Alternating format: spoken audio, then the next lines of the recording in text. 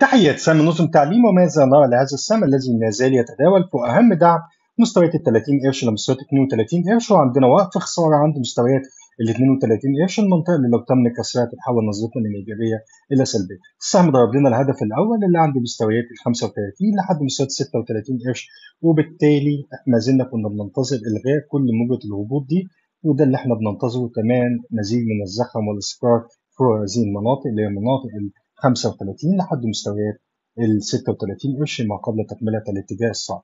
بالنسبة لي أنا عندي نموذج لو إحنا ملاحظين أقرب إلى الراية. لو إحنا باصين عملنا نموذج راية في النص هنا على الأقل يديني ضلع موازي لهذا الضلع وبعد كده أفكر وأشوف السهم هيروح لفين. يعني حاليا بستهدف إيه؟ عايز مستويات ال 100 فيبو يعني عايز مستويات ال 41 إلى مستويات 42 قرش كهدف محتمل ليا في الوقت القادم إن شاء الله. ولو لاحظنا نلاقي إن عندنا منطقة أقرب لمنطقة عرض هنا نشوف هنضربها ولا لا وبعد كده نرجع نقيم حركة السهم.